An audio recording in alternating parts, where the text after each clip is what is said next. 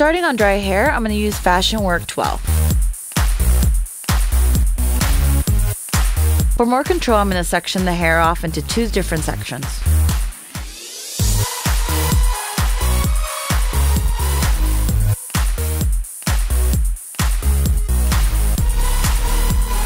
When you're taking a section, you're just basically spiraling the hair around the barrel of the curling iron.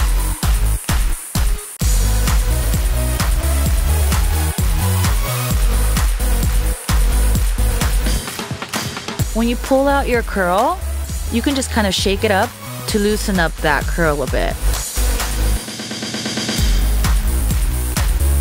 I'm making sure that the curl doesn't live at the root since I really don't want a lot of volume with this look.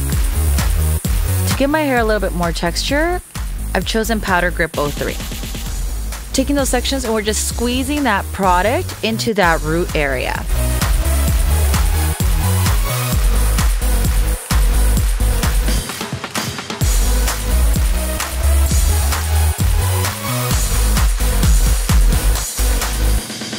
I'm gonna use some bobby pins to secure my finish.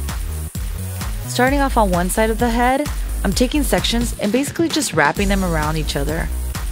Take your bobby pin, just secure those ends. Do the same to the opposite section. So what do you guys think? A quick, easy updo.